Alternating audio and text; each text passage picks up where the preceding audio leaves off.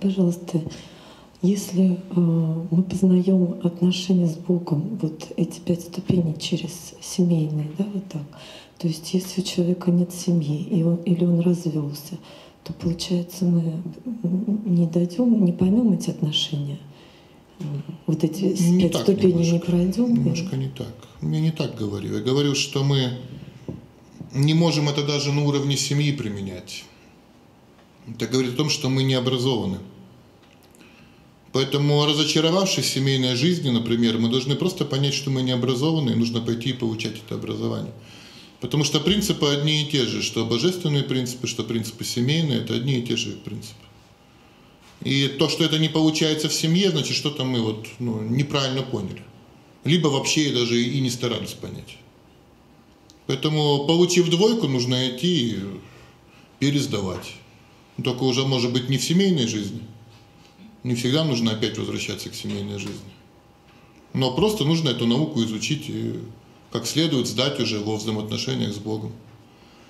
Ну, то есть это не так, что если прямо э, в семье ничего не получилось, то это закрытый путь к Богу. Это не закрытый путь к Богу.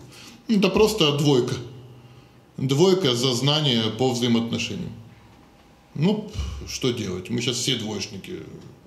У нас изначально какая-то такое... То есть, как мы с вами говорили, у нас вот это вот «я сам», вот это вот изначальное желание разобраться самим. Что, мы не разберемся, что ли? Что там непонятного? Ну, да разберемся. Что я, с женой, что ли, не разберусь?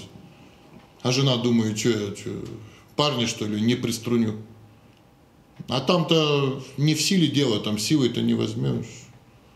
Мы говорим, там даже логики нет никакой. Там все сложнее, там нужно реально знать эти законы, нужно их понимать. Нужно не говорить, что должно быть, чего не должно быть. Это очень четкие, ясные законы. И человек думает, что я блинов, что ли, не спеку? Так просто не спечешь. Что там непонятного? Мы каждый день едим хлеб, ну попробуй сам хлеб спеки. С ума сойдешь, пока спечешь. Такой будет кирпич получаться, что зубы все сломаешь, пока хлеб нормально спечешь. Вроде простые вещи, мука, вода и соль. Что такое хлеб?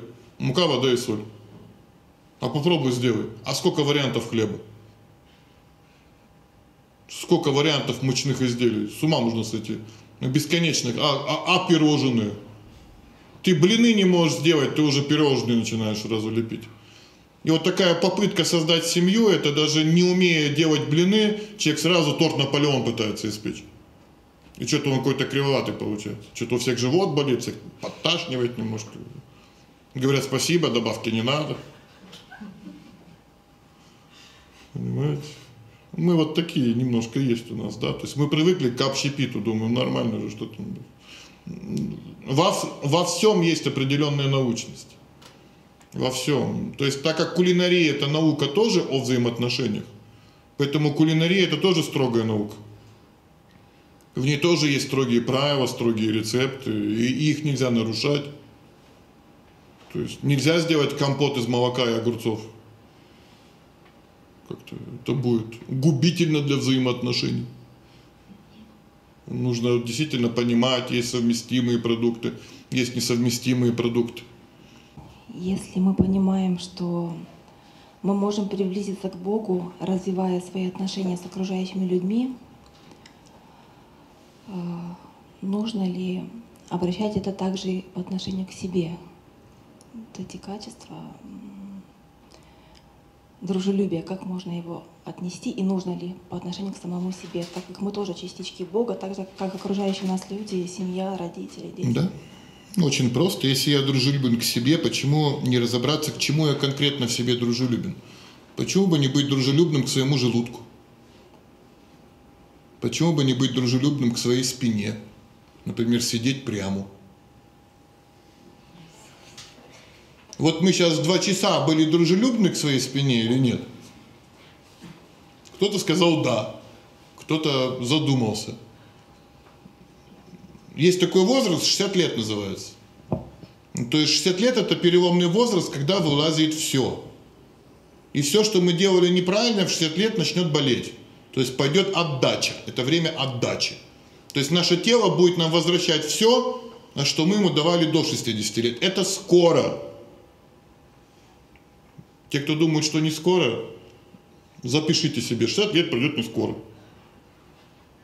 Потом перечитайте, когда придет. То есть это скоро. Начинается 60 лет примерно в 40. То есть 40 уже чувствуют, что скоро 60. Некоторые уже в 30 начинают сейчас чувствовать. Сейчас как-то так время сокращается. И все это, и вот, и вот и если мы действовали недружелюбно, то приходят последствия этого не, не, недружелюбного поведения к себе самому. То даже если мы неправильно ходили, не на носочек мягко наступали, а на пятку топали со всех сторон, там, бедные женщины, вообще непонятно, что там у них на ногах. Потом все это на косточки, на, на колени, на все суставы. Потом так все болит. Так потом все, потому что это все неестественно. Так потом все разваливается, такие боли приходят, все это.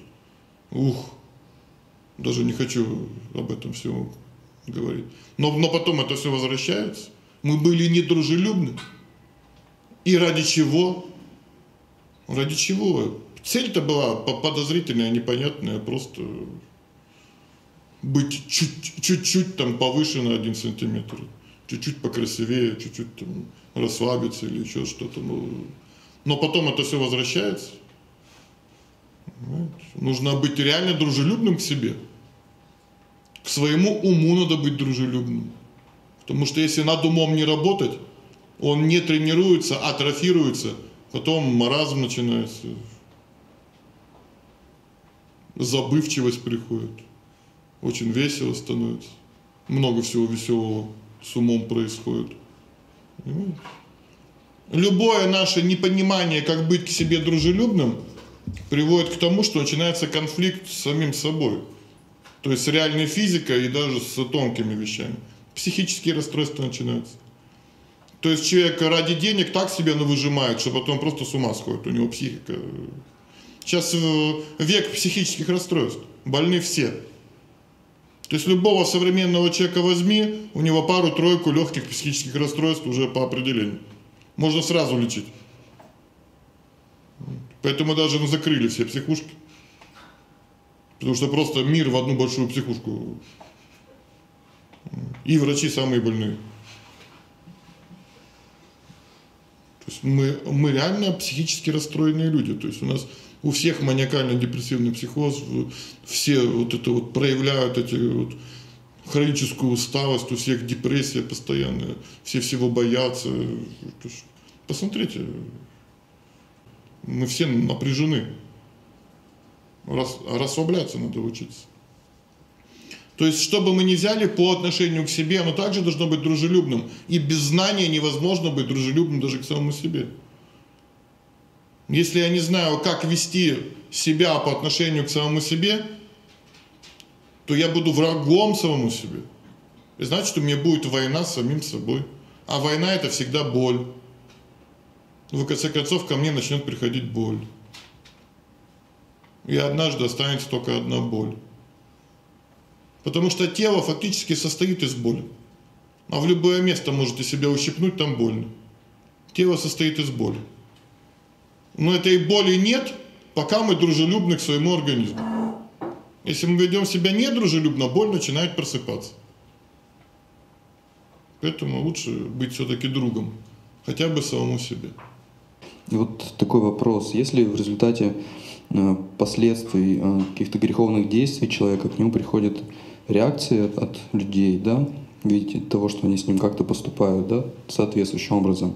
И несмотря на то, что ты это понимаешь, что это тебе достается за твои действия, и, но очень сложно относиться дружелюбно к этим людям. Как преодолеть вот этот барьер? И кроме того, также очень сложно относиться дружелюбно к тем, кто их поддерживает в какой-то мере. То есть еще на них распространяется вот это чувство. Да, стать другом своим врагам это сложно, но это одна из задач. Понятно, что мы себя ведем по-разному по отношению к разным категориям людей, но в нашем сердце должно быть дружелюбие. Дружелюбие – это значит, мы желаем добра. Легко желать добра другу. Надо желать добра врагу. Потому что если я вижу перед собой друзей и врагов, то я не нахожусь на духовном уровне восприятия, я нахожусь в, в двойственности.